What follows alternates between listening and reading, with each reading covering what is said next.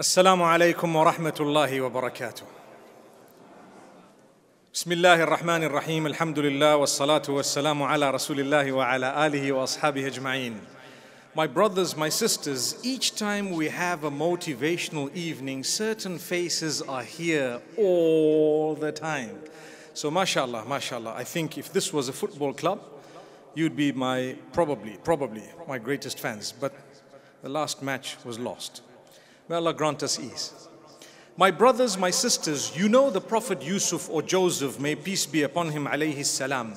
That story has in it tremendous benefit, many lessons, a lot of motivation, and it is repeated because Allah Almighty says that it is the best of stories, the best of what you could narrate in terms of a story wherein you are going to derive real life benefit. Look, one of the primary points that we actually learn when Allah Almighty has written great success in your life, when Allah Almighty has written great success in your life, perhaps you will have to go through much negativity according to you to get to the ultimate success that was destined for you. So, what you're going through right now is just the path. The path to what? To the ultimate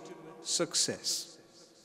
Look at Yusuf alayhi salam. Each time we read the story, and look at it from a different angle, a different dimension, it impacts upon our lives. What I'm about to say today, I can guarantee you that most of us, if not all of us, would feel, yes, this relates to me.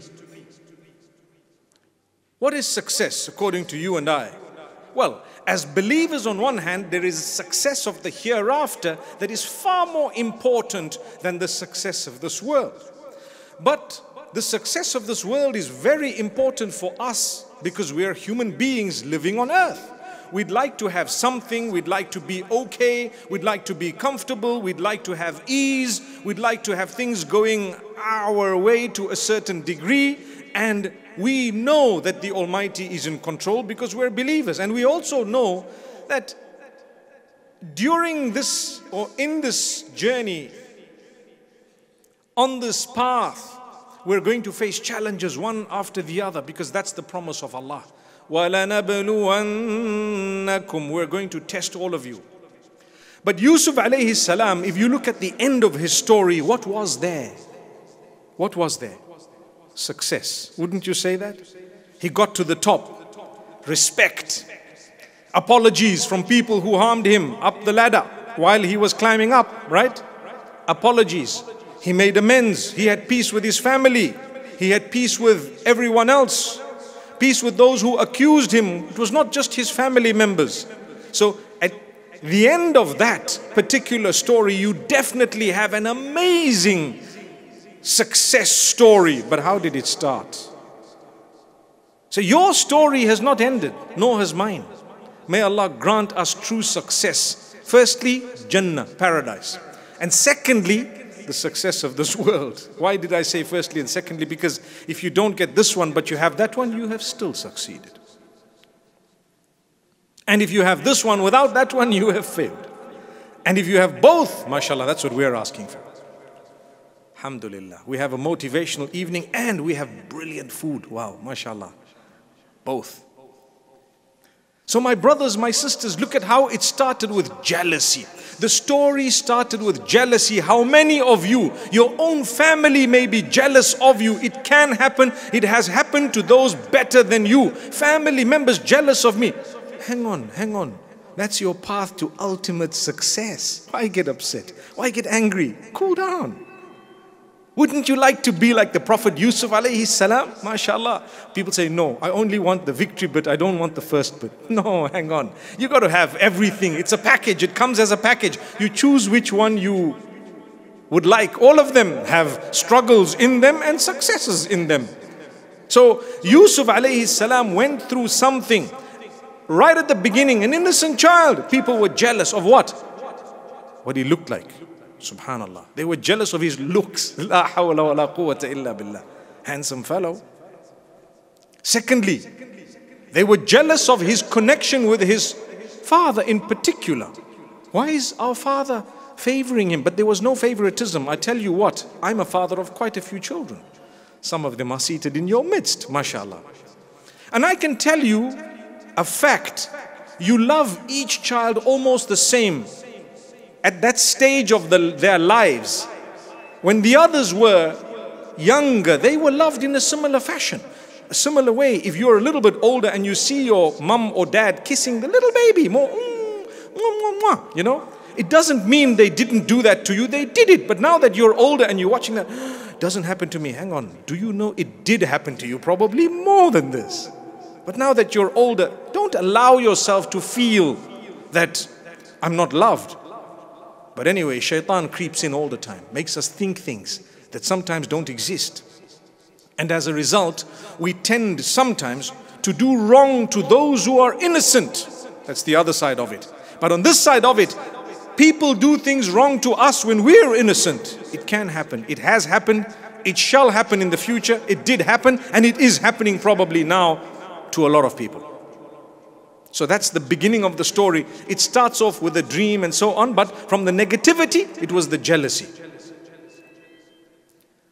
لا تقصص رؤياك على إخوتك فيكيدوا لك كيدا Powerful point today with social media. Here use Yaqub, Jacob, the father of Yusuf. May Allah's peace and blessings be upon both of them and the, all the messengers.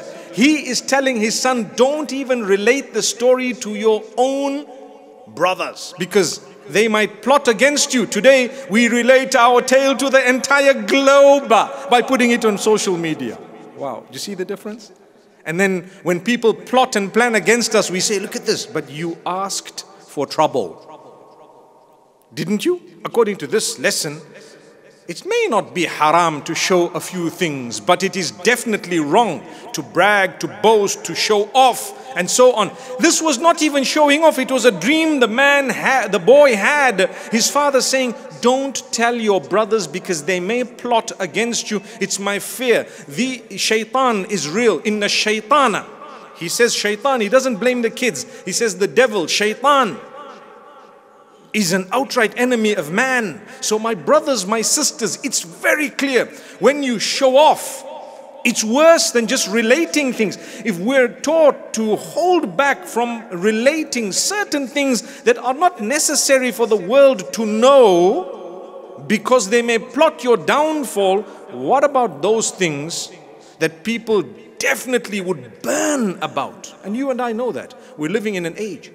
Some of us do it and wallahi, I won't lie to you, in order that others burn. Let them burn. Post it. Didn't we say that sometimes? Astaghfirullah. Let them see what I've got. Let them see. Yeah, it's not. Relax. Here is a beloved father. He is the father of a prophet, the son of a prophet, Yaqub, Jacob. May peace be upon him. And he's telling his son, La ala ikhwati. You had a nice dream. Beautiful. Don't narrate it to your own brothers. Don't even narrate it. With us guys, we will post a dream. Oh, I had this dream and that dream. It's okay. We're not prophets, and there was no Jacob to tell that to us, right? But at the same time, doesn't it teach us a little lesson to say, hang on, not everything needs to be posted.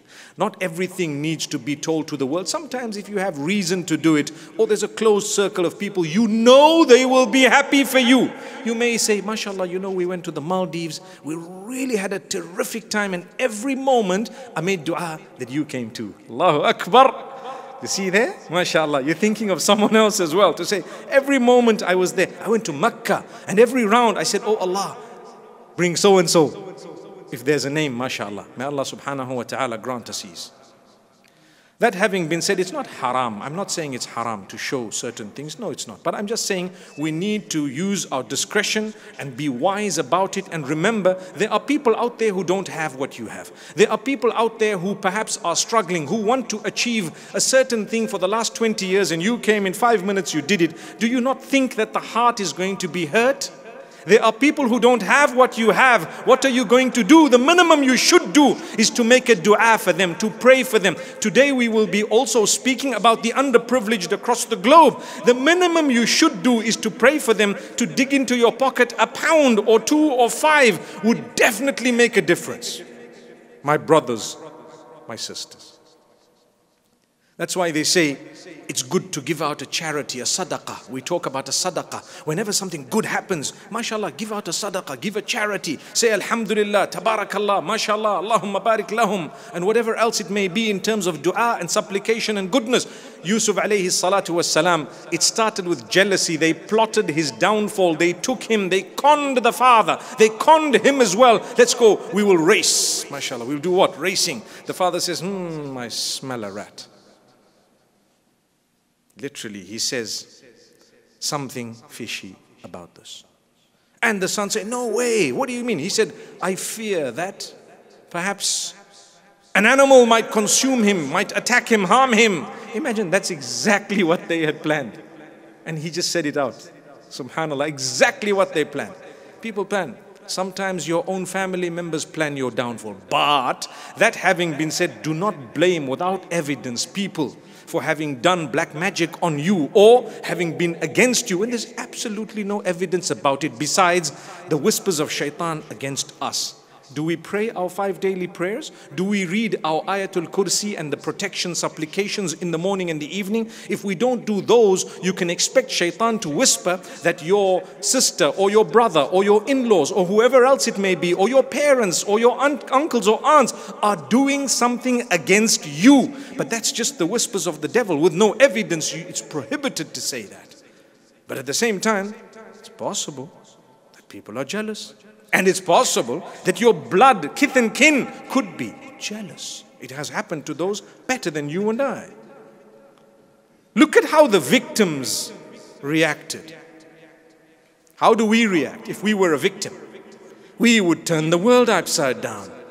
Going from pillar to post, believing in everyone who tells you you've got to cut 80 lemons in quarters and make sure that each one of them is exactly a quarter.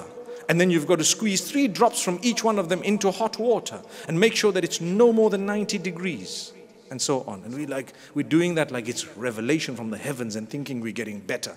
Has it happened to you? If it did, they laughed at you. They fooled you. That's not a solution for something negative that has happened to you. You've got to turn to Allah in prayer, in supplication, in Quran, in dua. May Allah protect all of us. Say Ameen. So Yusuf alayhi salatu wasalam was a victim.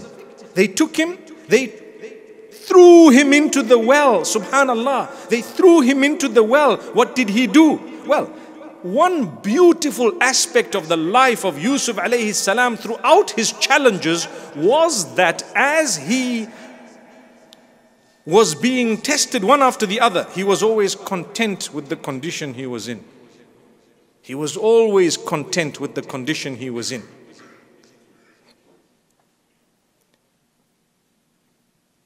It's amazing. In the well, what did he say? What happened to him? He was young, little. He waited. He waited for what? Until someone picked him up. When they picked him up, it was worse. It was worse because on one hand he was glad to be alive, but the other hand they found a little boy قال يا بشرى هذا غلام Oh wow What good news This is a boy We're going to enslave him and sell him and look what he looks like Oh amazing They took him to the marketplace They sold him and guess what That was bad enough because you're You've just enslaved a free man And you've taken him as a slave and sold him in the market And as though that was not enough The people who bought him plotted even more one after the other. What did he say? Well, what's recorded in the Quran is what he said when he they planned against him they plotted against him when he didn't commit immorality they said we're going to jail you if you don't do what we're telling you to do we're going to jail you this was an instruction coming from a certain woman False accusation. Wow. So one after the other. Whatever he went through, we will go through in our lives. Have people ever been jealous of you? The answer is yes for all of us. Haven't they? You might be sitting and say, I've got nothing. Who's jealous? of mm, it has happened. It has happened. You've got, mashallah. You think you don't, you do. Allah's blessed you. And then, planning your downfall. And then what happens? People accusing you falsely, and I'm totally innocent. Yes, it will happen. It has happened. And guess what? Others believed them because they were the powerful or whoever else they were. And this was a little kid, a slave. And Allah sent proof and evidence clearing his name, but that wasn't good enough for those who had no connection with Allah in the first place. You know, when people spread rumor or falsely accuse you and I or anyone else, if you have faith in God Almighty, in Allah Almighty, you will immediately understand without proper, concrete, solid evidence, this is a lie. That's what the Quran speaks about in Surah An-Nur. It has happened to Aisha radiallahu anha and others who are better than you and I. How can it not happen to you and I? It might be petty and smaller, but at the same time there will be people whom we didn't expect to believe the nonsense and they believed it. Why? Because they just say, ah, you know what? It's possible. Because it's possible for them. That's why. The Quran says that. It's possible for them.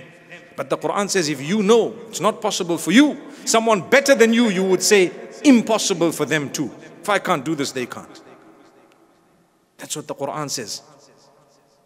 لولا إذ سمعتموه ظن المؤمنون والمؤمنات بأنفسهم خيرا وقالوا هذا إفك مبين When they heard the accusation against Aisha, the true believers, what was their way and their path?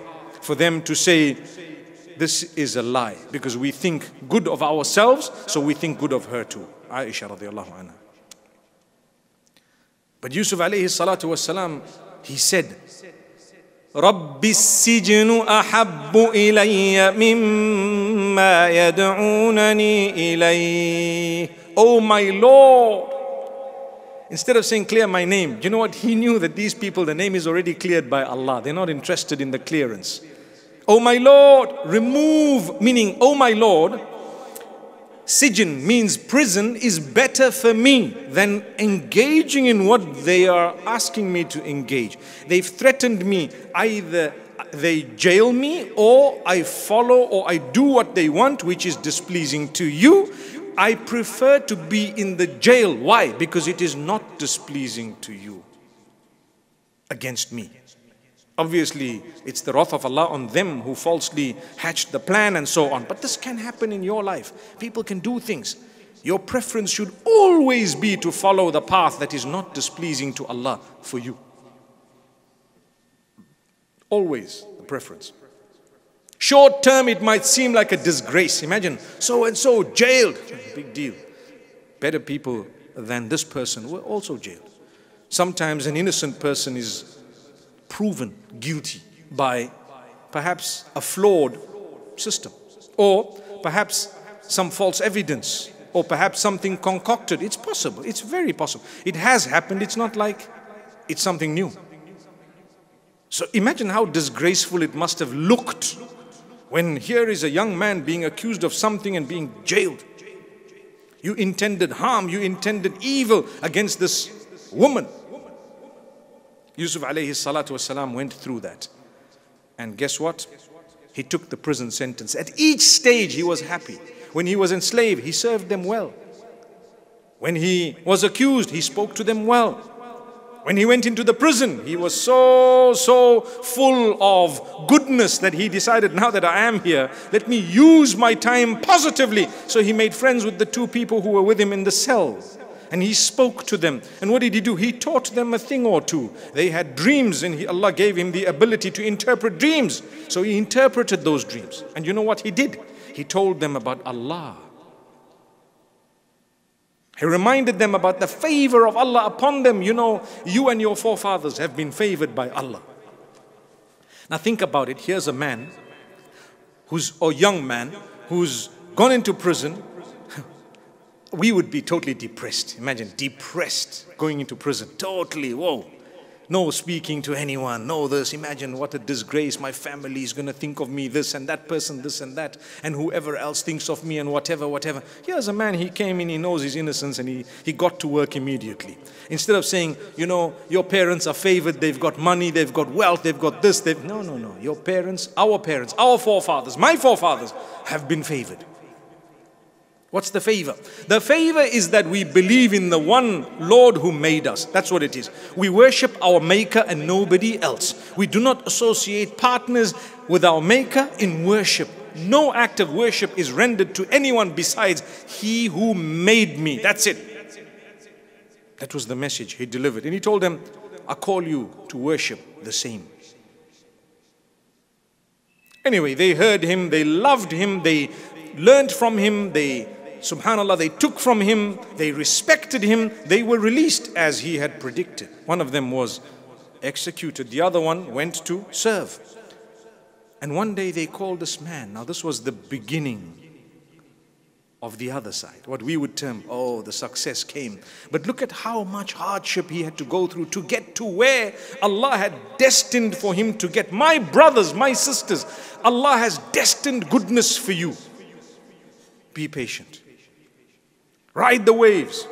You will have hardship, difficulty. Inna ma'al usri yusran. Inna ma'al usri yusra.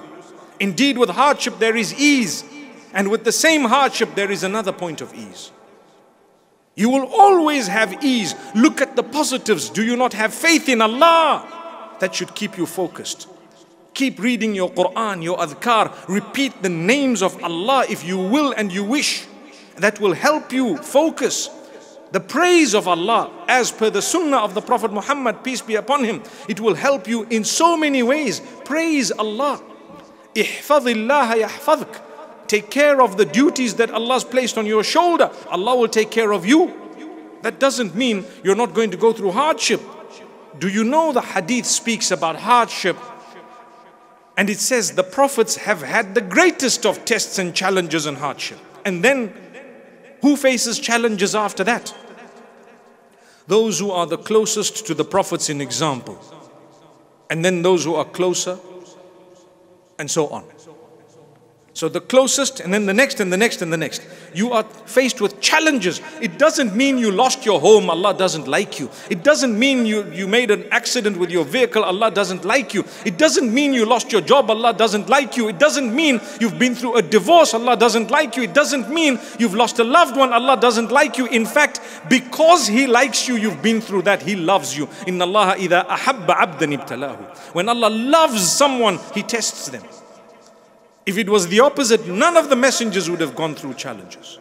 Not a, no one of them. But the Prophet Muhammad, peace be upon him, went through the same. People were jealous of him. Yusuf alayhi salam. Similar to that, right? In a different way, but similar. People were, they accused him of everything. Wanting power, wanting money, wanting authority, wanting to be the leader, and on the other hand, a womanizer, a sorcerer, astaghfirullah al-azim. Things we shouldn't even be saying and repeating. But it's a lesson for us. If the greatest of creation had these challenges, what did he say? He said, Oh Allah, oh Allah, if you are pleased with me, all this is nothing. This is okay. Subhanallah. If you are pleased with me, it's nothing. Now, let me tell you something. If your hardship, your difficulty, your calamity, your loss brought you closer to Allah even one inch, it was a gift for you. And if your loss, your challenge, your difficulty, your calamity took you away from Allah long term, it was a punishment. And the opposite can be said. If the gift of Allah upon you made you drift away from Allah, it was a punishment. Allah gave you wealth, Allah gave you health, Allah gave you looks, Allah gave you everything, and you used that to go away from Allah. Oh, how can that be a gift of Allah? It can't. That's why Allah says, just like some people earn paradise through prayer and through worship of Allah, some people will earn paradise through spending from what Allah has given them. Read Surah Al-Layl. وَاللَّيْلِ إِذَا يَغْشَى Allah Almighty says, who is going to be protected from hellfire? Those who have given their wealth. فأما من أعطى واتقى وصدق بالحسنى those who gave and Allah says وسيجنبها الأتقى الذي يؤتي ماله يتزكى who will stay away from hellfire the one who was conscious of Allah and gave his wealth in zakah gave his imagine this, this these verses are just talking about wealth الذي يؤتي ماله يتزكى Subhanallah. وَمَا يُغْنِي عَنْهُ مَالُهُ إِذَا تَرَدَّى Allah speaks about the miserly who hold onto their wealth and keep counting it. Oh, I got 20, now I got 30, now I got 40, now I got 50. It's okay to count, you're a human being, but what of it did you give away to those who don't have? Did you give? If you did, Alhamdulillah. I've got 20, I've got 40, I've given 5 away, I've got 35, I've got 45, I've got 55, I've given 5 away, I've got 50, I've got 60. Are you watching what we're doing? That's a Muslim. That's a believer. Because the hadith says, none of you are true believers until you love for others what you love for yourself. Allah's assistance will continue to be with you for as long as you are continuing to assist another person. Subhanallah. These are the gifts of Allah upon you and I. I want to solve my problems. The way to do it is to turn to your Maker. And you cannot turn to your Maker unless you, you are compassionate towards the rest of the creatures of the same Maker. Subhanallah. We're seated here this afternoon. What connects us? A lot of things. Primarily, we've been created by the same Maker. We're going to go back to the same Maker. Subhanallah. We belong to Allah, don't we? When someone passes away, no matter who they are, what do we say? Inna lillahi wa inna ilayhi raji'un. Don't we say that? Oh, and, and when someone we didn't expect, well, everyone passes away, but someone suddenly, oh, gone. Inna lillahi. So it said a little bit louder, right? It said with a little bit more expression. Inna lillahi wa inna Same thing you're saying. What does it mean? It means we belong to Allah and we're all going to return to Him. So don't be deceived. You're going to return to Allah. When you return to Allah, will it matter? Will it matter what car you were driving? Will it matter what designers you had? Will it matter what shoes you had? Will it matter? Subhanallah, where you bought that from? When there are people struggling to find a, little bit of fresh water to drink. May Allah Almighty bless us. So this story of Yusuf alayhi salam, the, the reason why I decided to repeat some of the points is because it happens in our lives. Don't despair. Allah is great. Your life, inshallah, will be coming up with much goodness, much successes one after the other lots of victories that you go uh, that you don't notice they go unnoticed because we're concentrating on the challenges we've met in this particular venue or at this venue a few times some of us. And I promise you one statement that so many people have come back to me and said, you know, this was a game changer. Was that, and I'm saying it again because the benefit of those who haven't heard it. Did you know that Allah promises you, He guarantees you that if you try to count His favors on you, you are never going to be able to count them? He guarantees that. But if you would like to count the challenges He's put in your life, you will be able to count them. Have you ever thought of that? If I ask you, how's life? You have a choice. We normally say, Alhamdulillah, even if you're in a big mess. MashaAllah. May Allah grant us ease. But usually you choose to either speak about the positives or the negatives. A believer is supposed to say Alhamdulillah because you're concentrating on the positives. But sometimes we are weak, we are man, and we start complaining, you know, oh, there's this challenge and that challenge. Think about it. Write your challenges in this book. I promise you, you won't fill the page. That's how many challenges there will be. Probably five, ten, what else? You failed your exam, that's one. You went through a divorce, that's the other. You lost one loved one, that's a third one. What else? These are big things, but you can count them, can't you? Right? You lost a job. What's the other? You, pro- you have a certain health matter that you're dealing with. What's the other? Five things. Okay. What else? What about the favors of Allah upon you? Oh, وَإِن تَعُدُّوا نِعْمَةَ اللَّهِ لَا تُحْصُوهَا what a verse! Allah says, if you try and count the favors of Allah upon you, no chance. You are not going to manage and succeed. You won't be able to count the favors of Allah. That's why I say, my brothers, my sisters, these challenges in your lives and mine, they're temporary, number one. They're limited, number two. And number three, as a result of those, your path to that victory will be flung open.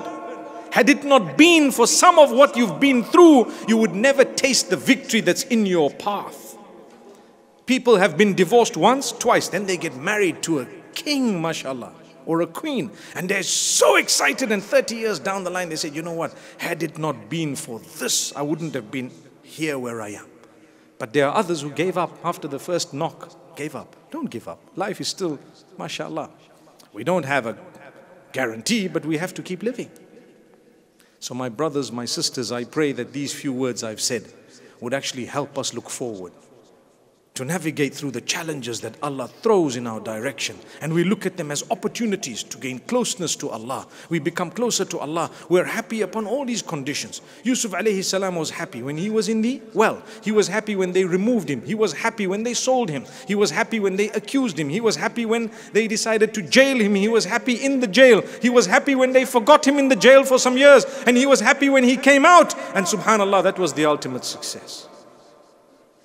His brothers kept on saying this and that and whatever until the last minute when they saw, whoa, this was something crazy. We planned the downfall of this person, and it was through our plan, through our plan of his downfall, Allah decided to raise him above all of us. They realized it. They sought forgiveness. Maybe people may ask you forgiveness one day. They may not. It's okay. But Allah is the greatest. أقول قولي هذا وصلى الله وسلم وبارك على نبينا محمد